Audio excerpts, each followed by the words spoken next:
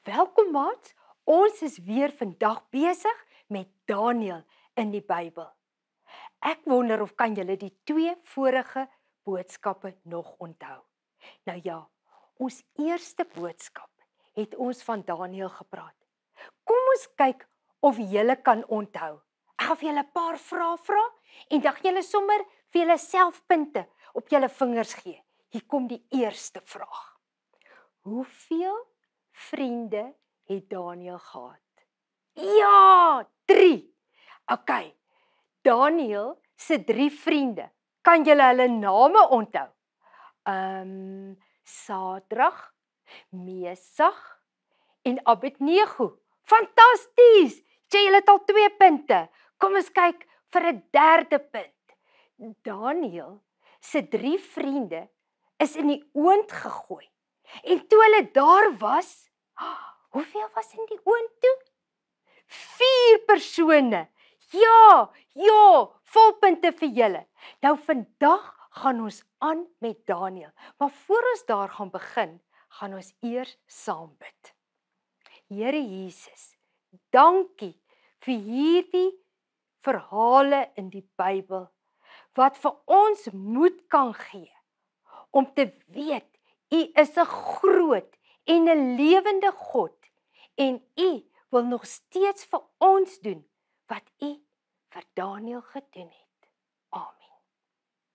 Mats, as ek vandag oor Daniël praat, dan sê ek, as ek aan Daniël dink, dan dink ek Daniël was 'n man van gebed.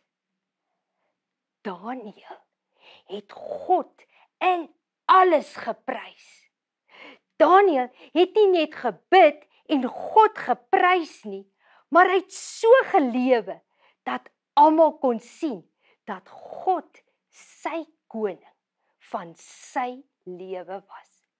Ons sê Daniël het 'n goeie karakter gehad. Wat is 'n karakter? Dis so iets soos sê nou maar mamma sê ook vir jou. Jy moet jou hande gaan was.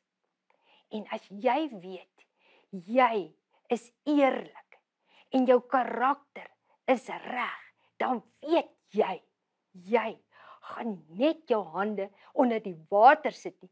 Jy gaan seep op sit, dit 'n paar keer vryf en dan goed was.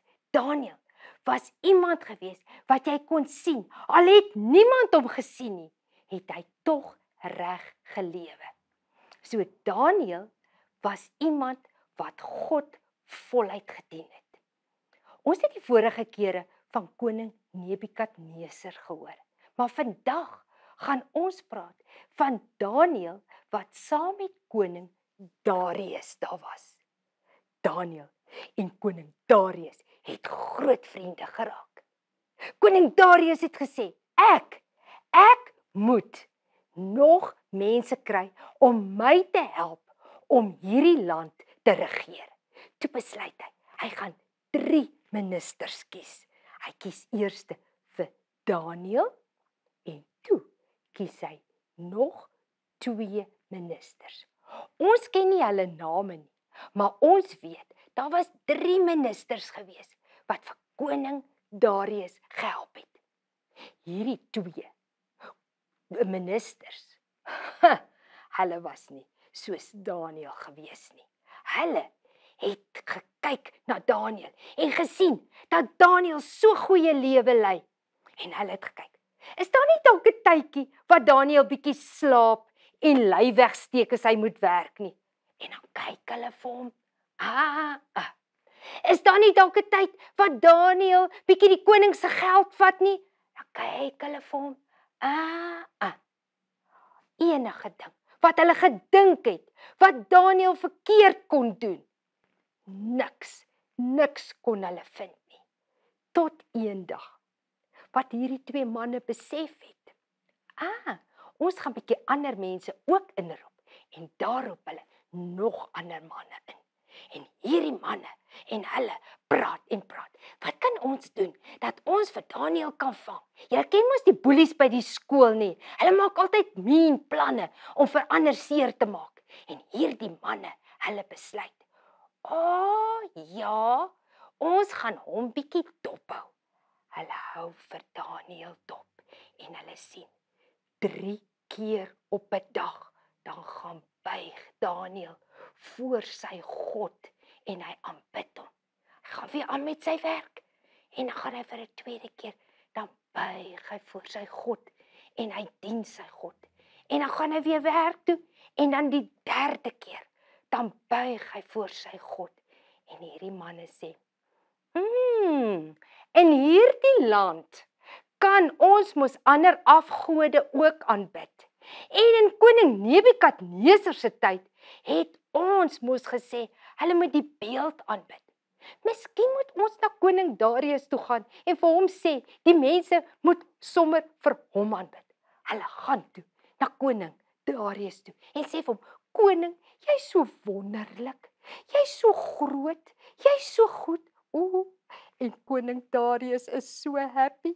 Hy's so happy dat hulle sê hy's so oulik en hulle sê: "Koning, kom vir 30 dae, dan bid ons net tot jou." want jy is die beste koning wat ons land nog ooit gehad het.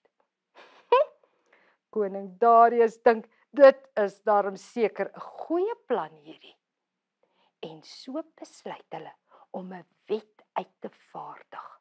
Hulle vra glad nie vir Daniël nie en saam besluit hierdie manne hulle gaan 'n wet uitvaardig.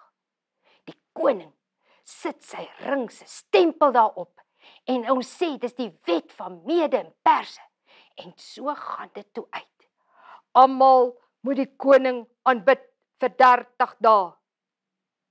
Daniel hoor dit ook. Daniel besef daar's nie 'n manier nie. Ek's baie lief vir koning Darius. Maar ek bid net een God. Ek gaan nie 'n persoon aanbid nie. Hierdie Daniel het gegaan na die kamer waar hy altyd gaan bid het. Hy het die gordyn oopgemaak en hy het steeds gaan bid. Die ander manne het hom dopgehou en ek dink hulle het so ala plala Kyk wat doen hy? Kyk wat doen hy? Ons het hom. Hy gaan in die moeilikheid kom. Want die koning het mos gesê, die een wat hom nie aanbid nie, gaan tussen die leeu's in die leeukuil ingegooi word. Daniel het dit geweet, maar hy het gesê, ek aanbid, ek aanbid net een God en dis die God van die hemel en die aarde hierdie klomp klikbekke het na koning Darius toe gegaan en hulle het hom gesê: "Koning, weet jy wat? Daniel gaan by 3 keer op 'n dag voor sy oop venster tot sy God." En koning Darius besef: "Ah, oh, dis my groot vriend." En ek het geweet hy bid tot sy God en ek het vergeet daarvan. En nou is die wet uit. En ek gaan sê vir Daniel, Daniel, ek is so jammer. Ek hoop, ek hoop jou God sal jou bewaar. En Daniel sê ek is jammer, maar ek kan nie vir jou aanbid, koning Darius nie. So gebeur dit dat Daniel tussen die leeu's ingegooi word. Daai aand word hy tussen hulle ingegooi. Hierdie leeu's het net toe hy ingegooi word. Lees ons in die Bybel in Daniël 6 dat hulle bekke was asof hulle toegesluit was en hulle het net daar geloop grom grom maar niks aan Daniël gedoen nie. Darius het daai nag amper niks geslaap nie. Hy het net gehoop en gebid dat Daniël se God hom bewaar. Daai oggend vroeg het hy gegaan na die leeukuil en hy het begin roep en hy het gesê: Daniel, Daniel. En Daniel het gesê, "Hier's ek. My God het my bewaar." Darius was so bly en hulle twee het saam teruggegaan.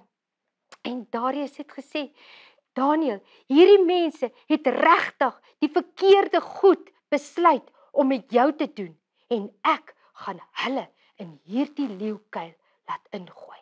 Ons lees in die Bybel dat daai manne met hulle vrouens en hulle kinders het koning Darius laat ingooi tussen hierdie leeu's.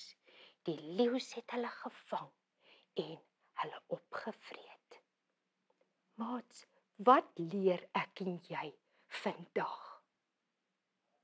Wat leer ek en jy vandag? Ons leer daar's een God en ons mag net hom aanbid. Ons leer dat ons God altyd saam met ons is. Dis nie altyd dat ons gered word van slegte goed nie, maar dis altyd dat God saam met ons is. Ons leer dat toe dit gebeur het, het koning Darius gesê: "Daniel, ek wil jou God aanbid. Maatjies, sê vir my, julle maats op die skool, by die skool, julle niggies, julle neefies, julle tannies, julle ooms, wat sê hulle van julle?" Sê hulle, jy is soos Daniel wat God dien al gebeur daar slegte goed in jou lewe. God sê vir jou. En hy sê vir my, soos hy vir Darius gesê het, ek is die enigste ware God. Van daardie dag af het Darius, koning Darius, saam met Daniel die Here gedien met sy hele hart. Maat, mag ek en jy so lewe dat ander sal lus kry om ook vir Jesus te dien sodat hulle kan weet God is altyd by ons of dit goed gaan en of dit sleg gaan. Mag dit met jou goed gaan in hierdie week en as dit met jou sleg gaan, wees soos Daniel. Moenie vir God vergeet nie. Lees jou Bybel, bid en wees gehoorsaam aan God. Ek groet julle tot volgende keer. Totsiens.